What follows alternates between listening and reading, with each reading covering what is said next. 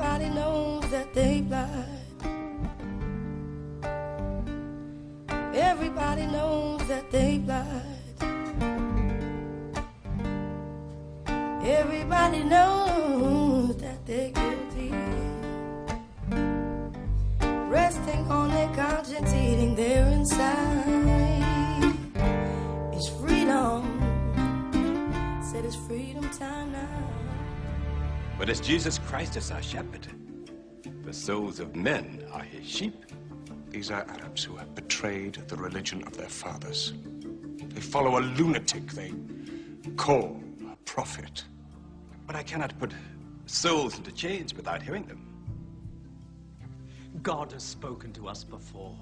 Through Abraham, Noah, Moses, and through Jesus Christ. Why should we be so surprised that God speaks to us now through Muhammad? Who taught you those names? They are named in the Quran. I knew Muhammad when he was an orphan minding sheep. And we knew Christ as a carpenter. What Christ says and what your Muhammad says is like two rays from the same lamp. They are lying to you. They deny Christ. You worship three gods, they say. Father, Son, and Holy Ghost, they say. What do you say of Christ? They say God cannot have a son. Christ is not the Son of God. Speak to me of Christ. We say of Christ what our prophet has taught us. That God cast his Holy Spirit into the womb of a virgin named Mary, and that she conceived Christ, the apostle of God. The apostle, he says, not the Son, not the Son. What does your miracle, your Quran, say of the birth of our dear Lord Jesus Christ? May I relate the words? Come closer to me.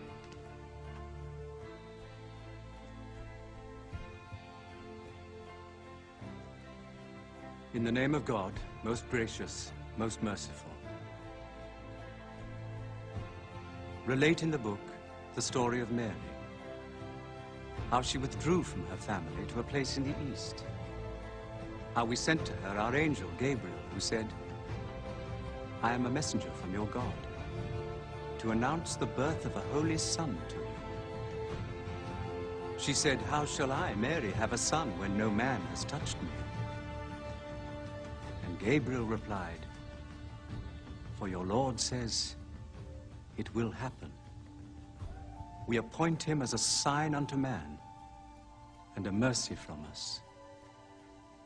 It is a thing ordained.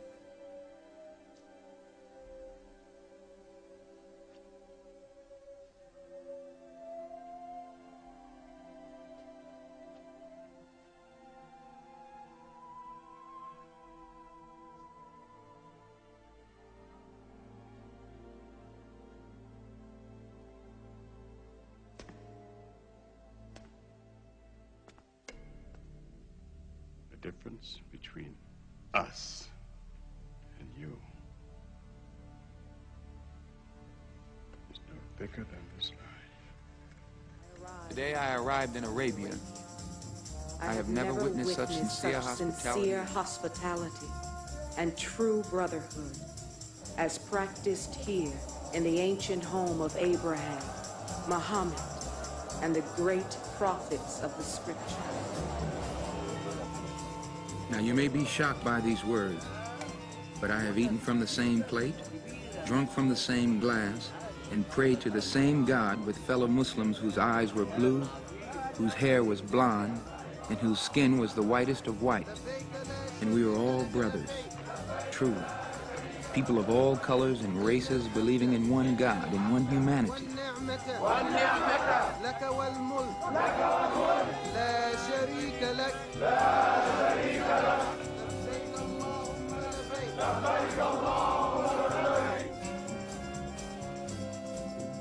Each hour here in this sacred land enables me to have a greater spiritual insight into what is happening in America. appropriate. Why is it inappropriate when 70 families died? What are you killed talking us on 9/11. No, Right? that's- oh my God, that is. Muslims Muslims didn't kill us on 9/11. Is that what you're saying? Excuse me, extremists What did religion that. were they in? What religion was Mr. McVeigh?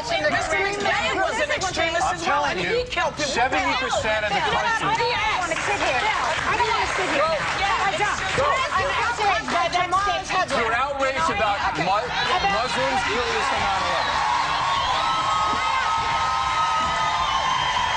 Burning will actually take place uh, out here. Well, of course, uh, September 11th was a, and what happened was, um, of course, a very, very serious thing. Uh, I believe that it reveals the true colors of Islam. And um, we thought about what can we do to really show um, the dangers of what happened that day. And it's not only what happened that day, but actually what Islam does around the world. I understand that there is a great deal of misunderstanding about Islam and about Muslims in this country. And I do not blame ordinary Americans who are very busy and do not have a lot of information for feeling confused and anxious. Um, it is our job to help provide them with better information about what Muslims believe and what Islam is. We are facing the rise of Islamo-Nazism rising all around the world. We are heading straight into a wall with the clash between Western civilization and a 7th century uh, ideology driven by hate. And unless the West rises up today and world leaders come together and come with a solution to this problem, the world is heading into a disaster, especially with Muslims developing nuclear bombs and biological bombs and willing to use it against us. When you're talking about burning the Koran, let me just point out again to my fellow Americans, 80% of whom don't have a passport, never leave the country, never see the rest of the world, don't know anything about what's going on. You know, I've had the good fortune to be able to, to get out of here and, and, and see a bit of this, this planet we live on. The Koran has 25 different mentions of Jesus in, the, in that holy book. 25. They consider Jesus a messenger of God. Uh, why would you burn a book that, that, that beautifully mentions Jesus at least two dozen times? I mean, how many Americans even know, even know that? How many Americans even know, even know that?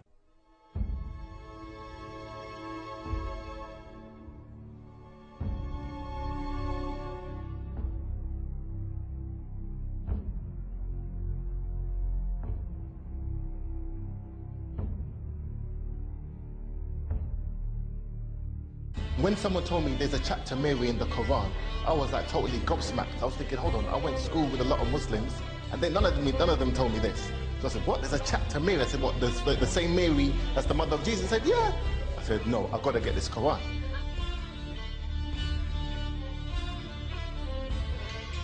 We as Muslims, we have to believe in Jesus, son of Mary, so seriously that we believe he is going to be coming as the prophet of the end of time.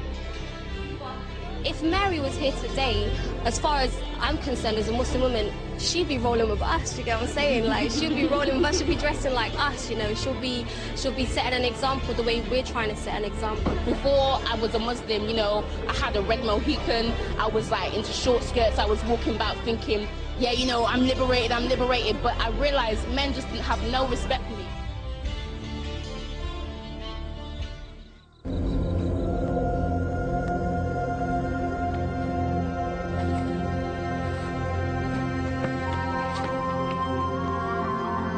Nama Jesnako. Daudi.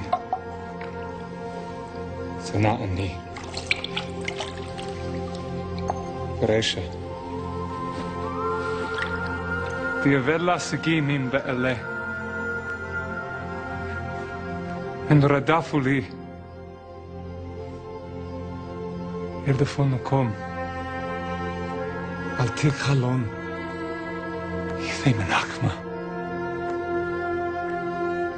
τη Honda Casta, τη Ελλά, αλτή χαλών, η Θέμεν Άχμα, τη Honda Casta, τη Ελλά,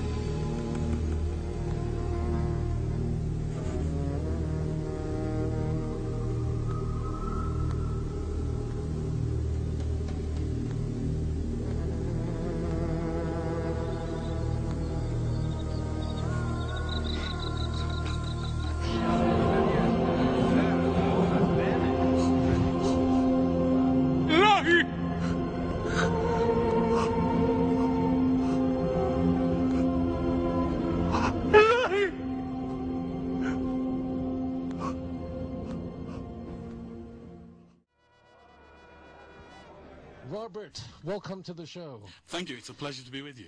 Rabbi Tovia Singer is an Orthodox Jew born in New York who hosts a weekly show on Israeli National Radio in which he takes on Christian fundamentalists about their faith and in particular their belief in Jesus as the Messiah. I'm an Orthodox Jew. I don't believe in Jesus. Is there any other figure in history that's come to represent our pain? How many millions of Jews have died because of this? Most Jews have no issue with Jesus. He just has no place in their lives.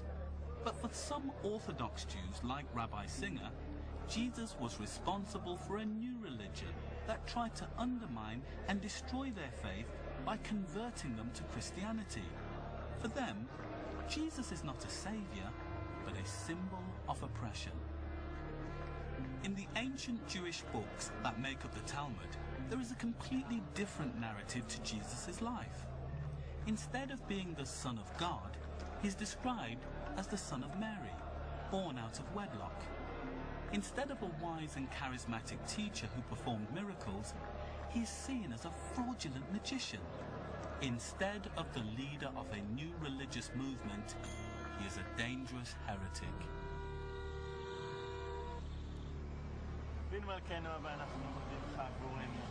But there are some Jews who do believe in Jesus.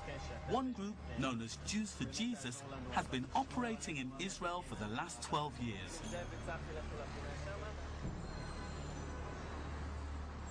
Every week, they hand out leaflets on the streets of Tel Aviv, trying to convince their fellow Israelis that Jesus is the Messiah.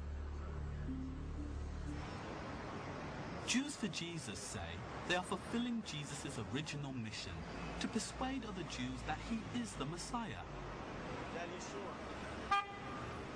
Out of an Israeli population of 6 million, they claim a membership of just 3,000. Under Israeli law, they are forbidden to offer any incentives to entice new converts, and they face huge opposition from Orthodox Jews. Rabbi Singer runs an organization that was set up to combat any attempt to convert Jews to other faiths. They're seeking to destroy our faith. That means that this is a direct assault on, on Judaism. You know what they're saying? They're saying that Judaism is a, a false, defective faith from which you need to be saved. I was told about another group of Jews whose belief in Jesus has brought them into violent conflict with their Orthodox Jewish neighbors. While I was talking to Debbie and Yakim, we heard voices outside. Their Orthodox Jewish neighbors had arrived, so I went to investigate. They refused to talk to me, and then the Israeli police turned up.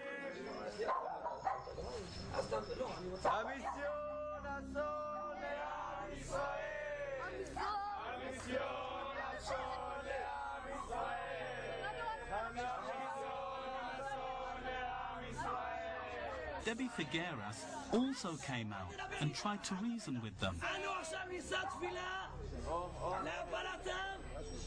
Obviously, this is quite unnerving. You've got a protest taking place and the police have just arrived. What it says to me is that Jesus still matters today in Israel. He's still a person of contention. If you're a Jew who follows Jesus, it's not that simple. You may end up having a protest outside your home and antagonizing Jews who still see Jesus and Christianity as a symbol of oppression and